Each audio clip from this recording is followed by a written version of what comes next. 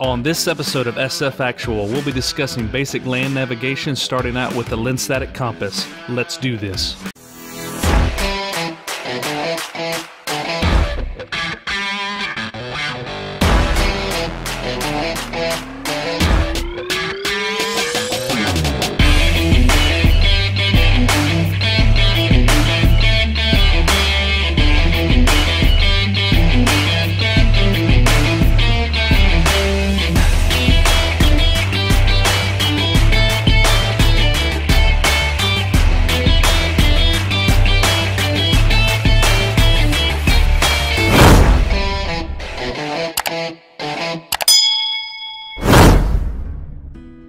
All right, YouTube, SF Actual here. Uh, let's go ahead and jump into this uh, episode that we're going to be doing on land navigation. Uh, multiple episodes coming out with this, and starting out, we're going to be going over the Lensatic compass. But just do a quick breakdown of what I'm going to be teaching on in these four parts. Is this is directly from uh, the U.S. Army and what they teach on land navigation and uh, we'll be breaking it down, going over what's important to just learn basic land na- navigation, move into intermediate, advanced, and then eventually expert. Uh, today will be about Lensatic compass, but in the basic uh, episodes, we'll be learning about topographical map on how to read them, and then land and map association. Um, I'll also be discussing about um, pace count and drift course uh, some things that you can actually get out and about and go ahead and get these down uh, under your belt. So uh, just backing out real quick just to show uh, why we learn land navigation is training and practice on foot provides everyday navigation so we don't get lost benefits. Not having to use a GPS, not having to use anything um, electronic that we can take a map, we can take a compass and a protractor, we can get out there and, and get some work done. Uh, you know, tracking present location, determining distance, sense of direction, and how to read a topographical map. Um, that's what we're going to be digging into. Uh, moving over into the compass itself, uh, this is not a normal compass that a lot of people might have used. There are different ones out there. Uh, this one is something that was designed um, for the military or that the military adopted that's been used for a very long time. and Reasons being is precision, durability, and hyper accurate bearing land uh, navigation. And direct artillery fire was another big one that we'll talk about in mils in just a minute. Um, but it's preferred by the militaries, battle tested, shock and water and sand proof, functional for 50, negative 50 degrees to 150 degrees. Um, another big thing is the Lensatic. You can just point and shoot one target and immediately move on to the next. Uh, the luminous lights allow for nav uh, navigation in low light conditions and nav uh, night navigation. Uh, it's equipped with a magnifying lens, sight wire, uh, dial graduations in both degrees and mils. Uh, copper induction, another big thing. The copper induction dampening system. Uh, this slows the rotation of the magnet without the use of liquid. So, nice thing about it is if you ever cracked it by accident, it's not leaking liquid, and then now it's not working properly. Uh, so, another key thing. Now, stepping into genuine versus imitation. Uh, the Cammenga Lensatic compass is the one that the military purchases. You can see the link down here if you ever want to buy one. Um, this is what has been tested. It meets, uh, you know, mil spec and tolerance on the accuracy um, you know, all the, the, the materials that's used out of it. This is the type of compass that the military buys. Now, you can buy a cheap one, and it might work uh, pretty decent. It might be pretty accurate, something you can work with. And you know, if you're just getting into this, you're you're about to go into the military, and you're wanting to test this, and just get a cheap one. Um, if you're wanting to play around and see, you know, just just playing around out in the in the woods somewhere that you're familiar with, buy a cheap one. Learn learn the basics, learn the mechanics of how it works. But if you're wanting to buy a real one, Cammenga is the real one. If you're wanting the real deal, one thing I will say. If you can take anything out of everything that I'll be teaching on these episodes, is the key thing is um, mistakes in land nav will expound on each other. And what I mean by that is if you make one mistake, uh, reading the wrong degrees, heading in the wrong direction. Uh, you know, when you're moving, you you think you've made it so many hundred meters, and you've only made it, you know, so many hundred meters uh, less. So, say you were trying to walk 500 meters and you only walk 300, and now you're supposed to shoot a new azimuth that takes you at a 90 degree turn, and you start walking that way. They're expounding on themselves. You're going to get lost even more, and you're going to have trouble getting back. So, we want to make sure anything that we have the ability to be accurate on, to be precise on, that's what we want to do. So buying a good compass, I would highly recommend. But again, if it's something that's um, you're wanting to practice with, just get the cheap one. So parts and features, we'll jump over this real quick because we'll be uh, discussing a lot on it on some other pieces. But you got your sight dots. Uh, that works through tritium. So that's another thing that um, Cammenga has is tritium. Um, it's a chemical, you know, concoction that uh, basically lights up for about 25 years. It does not need to be charged at all. It just lights up. You open the thing up and it's, it's lumen. A lot of people put them on um, their pistols, on their sight post. Um, now, cheaper ones, you're going to have to charge it with a light. Uh, not a big deal. Just remember when you're out in the dark that uh, li uh, bright light, or I'm sorry, white light is going to overwhelm your rods and your cones, and it's going to be hard to have night vision at that point. So you want to work a red headlamp or a medical blue headlamp or something like that. But anyway, getting off topic. Um, big things to learn here is the luminous heading. That's what lights up behind the degrees. Uh, the bezel line, that is something that actually moves with the bezel. We'll discuss how you can use that. Um, the magnetic arrow, that is what always points magnetic north. So be mindful, there's true north, grid north, and magnetic north. So uh, anytime you pick up a topographical map, if it's a proper map, it's going to show you true north, it's going to show you grid north, which is what the map is working on, and then magnetic north uh, differences. And you'll just have to know that difference to subtract or add um, to account for that.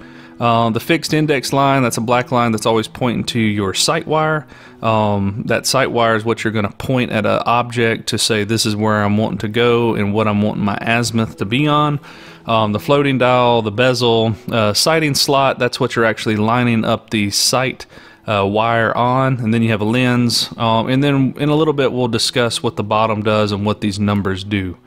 Um, so here, just talking real quick, uh, the granulated straight edge, the upper half of the standard, is 1 in 50,000 scale map ruler. Um, so in the military, we use 1 in 50,000 square map um, topographical maps. Uh, it works by meters. Every grid square is a thousand meters by a thousand meters. Um, so this compass is designed that you can actually use that if you're needing to count if you don't have a protractor with you. Uh, looking at the base real quick, uh, things to take note of is the bezel ring, 360 degree rotations, 120 clicks, so each click is 3 degrees. We're only worried about the red, which is uh, degrees. Uh, the black is mils, and that is used when you're doing a call for fire and artillery stuff. We're not trying to be that uh, precise, so we're wanting to use red in the degrees. Um, Moving on, you can see here is the red ring, which I just mentioned about being degrees, is there's 360 degrees in a circle, distance between red marks. So distance between each red mark is 5 degrees. The distance between the big marks is 10 degrees, and the distance between the numbers is 20 degrees. So we have 5, we have 10, and then we have a full 20. All right, back to what I was just talking about over here um, on the uh, the side of it that has the broken down measurements. Um, you do have approximately one inches every 13 ticks, so you can count here and get to 13. That's one inch if you need that. One centimeter is every five, and again, this is broken down to be used with a one in 50,000 square mile. I mean, uh, square map. Uh, Another thing to take note of about 100 meters is about 107 yards. So, uh, you know, the way we would use that, we work in meters. Military works in meters, is my point I'm trying to get across. But if you had to convert that into yards, it's 107 yards. Um, the rear sight post, uh, you know, this is has a magnifying glass to easily see the degrees on the on the ring itself, and then the sight slot that's used for targeting where you're trying to point at. So handling the compass, uh, you know, this kind of this has got some good stuff about you know you want to take care of it. You want to make sure things are bent. You want to make sure things are not broken.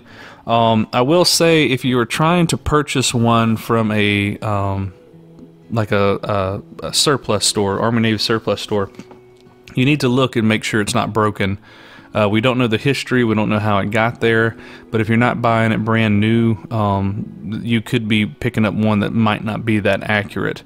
Uh, you want to discard any type of compass more than three degrees. So that's something if you have it in your um, possession for a while and it's getting out of tolerance that bad, um, you know, or while you're checking one out at a Navy surplus store, you know, show it to them, tell them that it's out uh, past three degrees that you believe, and uh, or just don't even bother picking that one up. Things that can affect it is medical and elect- uh, metal and electricity. So these are things to be mindful of. 55 meters for high tension wires can affect the compass. 10 meters for your truck, your car, barbed wire. 2 meters for a hunting rifle. Half a meter for knife, flashlight, binoculars, and camera. Centimeters can be a belt buckle, paper clip, and even jewelry, ring on your finger. Um, what I will say on this, if you're wanting to test that, is you need to have everything off, belt buckle, all of it, and uh, do a shot, do an azimuth check, and see what that is at a tree, at, at, a distance, whatever. Then, if you're using this for hunting, if you're using this for backpacking, what have you, um, put all the stuff that you would be wearing on, and then do another azimuth check, standing in the same spot and looking at the same tree, and see if it throws off the compass at all. If not, great. If it does, be mindful of that. Um, this just talks about visual inspection, which I already hit, and then maintenance. You know, think about salt water will corrode this stuff, get it where the bezel doesn't want to spin. Um, you know, clean it with fresh water, let it dry off. Try to keep uh, dirt and grime off of it. The if you buy the real one, eh, even the cheap ones, I believe, come with a good case. So you know, keep it in the case as much as you can, but they're pretty durable. Um, calibration. Um, you know, this is something I'm not trying to get you heavily into. It's just making sure you buy one that's working well and you're not having to get heavily into calibration. So, how the sight on the Lensatic compass works, and then we'll be done. Um, this is just remember an army video, uh, army PowerPoint presentation. So here you go with this picture. The compass to cheek technique is used almost exclusively for sighting. Uh, so what this guy is doing, he has the uh, compass held flat. He has his index finger running along the side of it. He has his thumb down in the thumb loop uh, that's in the bottom, and he is placing his thumb and uh, palm right up against his cheek. And that is called the compass to cheek method. Um, you, it, it, the best way to think of it is think about if you're shooting a rifle, you want to do a, a good cheek weld, the same cheek weld every time. So you're taking any variables of you being different out, and then it's just due to the rifle. Same thing with this. You want to take all the variables of yourself out, and now it's just a compass that could be behaving properly or not. Um, so we're going to look at a few pictures where you can see this, but just practice it a few times, and it's real easy, not hard at all. Uh, so what he's doing here, he is looking through the uh, sight slot, he's looking through the sight wire, and he is pointing at a tree, and at the same time, he is beginning to look down while he's holding that, and he is looking at what his azimuth is towards that tree. And here would be a shot of what you would see if you were pointing that. See this index line that runs with the sight wire is what you're going off of. So this is 340, 341, somewhere in there. Again, just reiterating reading the uh, heading and then reading the uh, target. So here's some great pictures where they're showing what that would look like. So you have your sight wire, you have your sight slot. He's got that. He's got his index line, and right here he's able to see 65 degrees. So again, on here they just want to say worth repeating. The compass to cheek technique is very important that you want to make sure you're doing it properly. So in this case, he's doing it right. He's got his uh, right hand right here pressed against his cheek and he's putting his eye up. It's flat. That looks right. Same thing with here. He's got his hand pressed into his cheek. He's got it flat and level. That looks right. So this guy is just kind of holding it, or girl, sorry. Um, and uh, she's just kind of letting it float there and she's probably not touching her face very well. You can see that it's almost in the center of her face so if she's looking at this sight wire she could be pointing at some other tree and not getting a very dedicated reading. Remember these little things are important because if you make a mistake they're going to expound on themselves. Uh, right here good placement good cheek weld. Right here good cheek weld. This guy again, he's got it placed on his face. He knows that eye is perfectly in the slot to the wire. Good cheek weld. Right here, he's floating it. He's got metal up here um, that could be affecting it and messing up the compass. He's not doing a cheek weld at all or touching his face. Uh, this guy's doing it right. This guy is definitely away from his face, and this could totally be wrong. Um, this guy's doing it wrong, just holding it there. So that is the compass the cheek method. Now, there is one other method that you can use. It's called the center hold method. And the way that works is um, open the cover and you're going to fold it straight out. And you can see here he is putting both of his index fingers right up against the compass on both sides and he is locking his elbows into his side. And what you're doing is you're turning your entire body. Um, you're not going to turn the compass in your hand. You're going to turn your body and keep that compass um, parallel or perpendicular, however you want to say it, uh, with you, that it's pointing straight forward. And the reason what this center hold method is for is just for fast use, pulling it out. So say you get a good azimuth, um, you you get it marked out on your map, you know where you're going to be walking, and you know generally you're supposed to be walking 92 degrees. That's what this one is for. You're pulling it out real quick, you're doing a check, you're seeing that, okay, I'm continuing on 92 degrees, 92 degrees, 92 degrees, even though you're not pulling it up and doing the um, cheek method. Uh, this is a good one, and it's definitely got its uh, its reason. The way to use this one is uh, the bezel ring and the bezel line, and why this is so important. So what you would do here in this case is that index line does not move. That index line is wired to match up with the sight wire. Um, you want to find what azimuth you're supposed to be walking. You would take it and you would point it um, at your target. Uh, I would prefer doing the cheek method. And while you're holding it in that position, you need to figure out where the north arrow is pointing. Um, at that point, just take your fingers and turn this bezel ring until this luminous sight and this luminous sight on your magnetic uh, arrow line up. Once that lines up, you are set that um, that is the degrees you're wanting to walk and all you have to do now is line these up. So the way that works is once that's completed once you close it up you got it back in your pocket and you're walking and you're wanting to do a check. On in this case an example of 25 degrees you're wanting to see am I still walking roughly 25 degrees? All you do is pull it out Put your two index fingers right on the side of it, lock your elbows in, take a look down while it's flat, and line up those two um, bezel lines. If those bezel lines line up with the, oh, that bezel line to the north arrow, you're walking generally in the 25 degrees. That's how it works, real quick and accurate.